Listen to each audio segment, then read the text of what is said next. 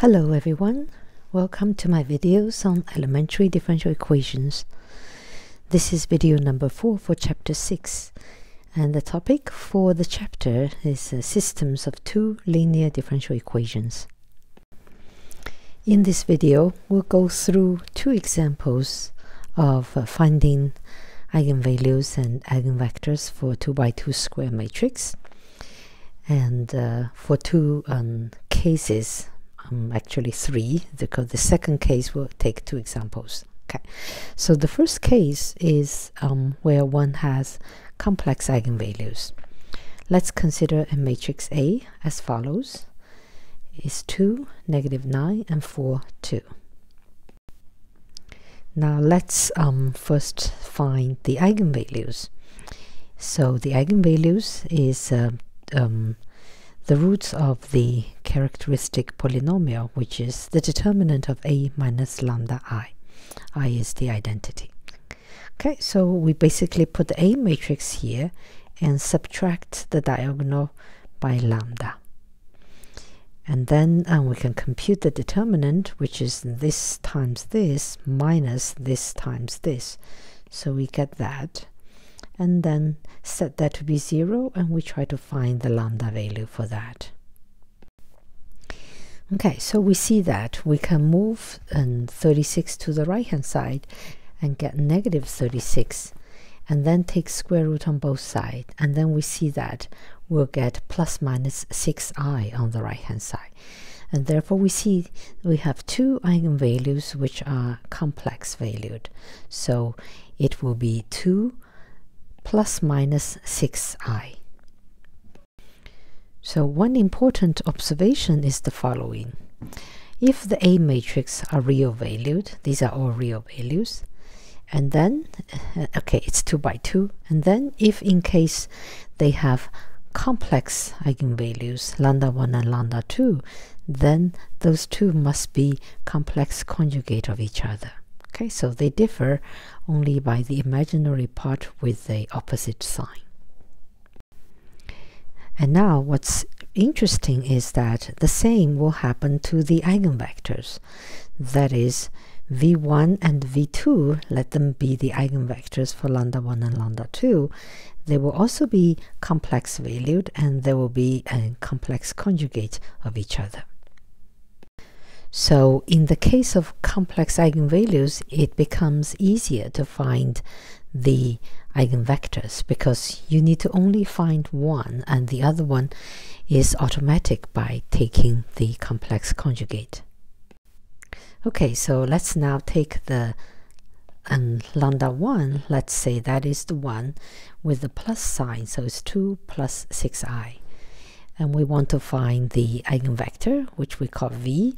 And let's say the component of um, this v vector is v1 and v2 okay and then let's um, put that in. So we'll have this um, system which is satisfied. That is a minus lambda 1 times identity times the v equals 0 vector.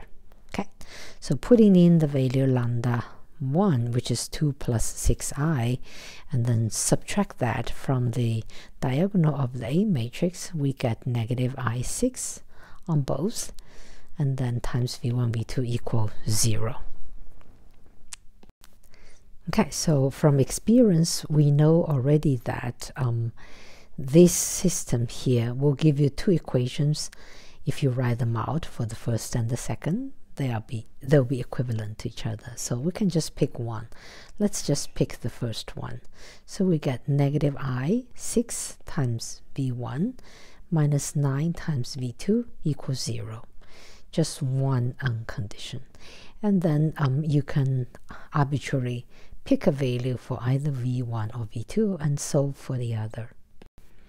Okay so let's pick a convenient value. Let's pick v1 to be 1 then v2 you can just put this number to the other side and divide it by negative 9 and you will get is negative 2 over 3 times i. Okay and then we get the um, eigenvector let's call the eigenvector is v1 associated with lambda 1 I'm sorry it's a bit confusing the notation here and then this will be 1 That's the first component. The second component is negative 2 over 3i. Then for the other eigenvalue lambda 2, which is 2 minus 6i, the eigenvector, let's call it v2, we don't need to go through this calculation. We can just take v1, which we computed here, and take the complex conjugate. Okay, so for each element, okay, so for 1, we'll just get 1, and then for this, the imaginary part, we'll flip the sign, so we'll get 2 over 3i. Okay, finally, now let's consider the case with repeated eigenvalues. Then they must be real eigenvalues. Let's call them lambda 1, lambda 2. They must equal each other. And here there are still two cases. One is uh, you have just one eigenvector, and the other is you can find two linearly independent ones. So let's start with one with one eigenvector. Okay, let's take an example. Let's say we have this A matrix 1, negative 1, 1, 3. Okay, let's uh, set up the um, characteristic polynomial determinant of a minus lambda i. Mm, subtract the um, diagonal by amount lambda. That's what we have. And we want to compute the determinant. So it's this times that minus this times that. So it's plus 1. So we see it's a, a polynomial of degree 2 in lambda. Okay, so we can distribute this and open it up and we'll get this polynomial plus 1 which is 3 plus 1 is 4 and then we see that this makes a perfect square. Lambda minus 2 square equals 0 okay therefore we see that we have repeated um, eigenvalues. Lambda 1 is equal lambda 2 and is equal to now we want to find the um, corresponding eigenvector. Let's call it V, um, which has components V1 and V2. Okay, and then we need to set up this system and find a solution for it. Okay, here we already put in 2, which is the eigenvalue.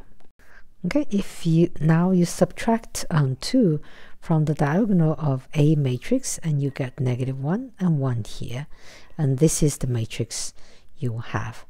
Times v1 v2 shall be 0 and we immediately spot that this vector and these vectors they are scalar multiples. If you multiply this one by negative 1 you get the other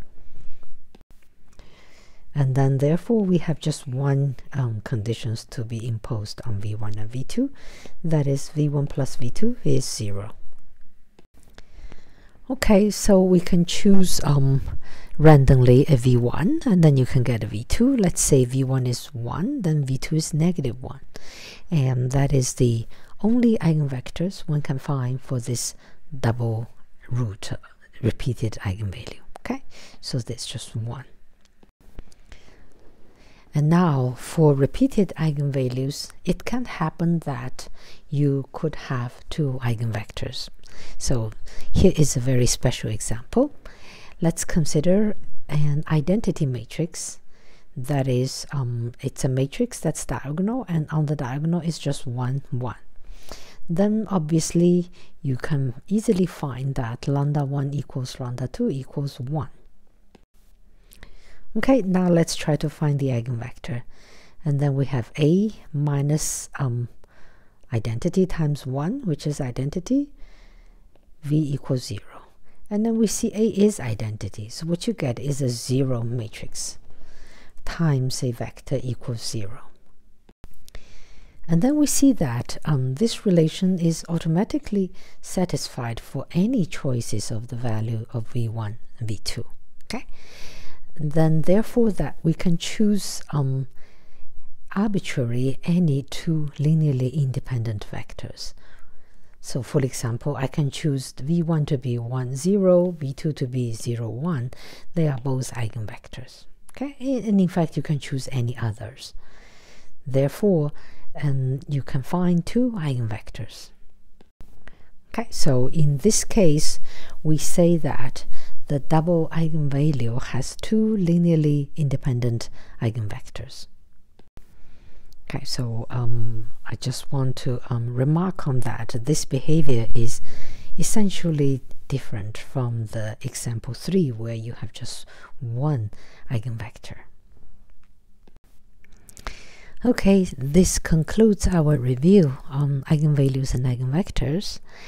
And uh, next time we will start looking at um, systems of linear ODEs. Okay, I hope you enjoyed this video and I'll see you next time.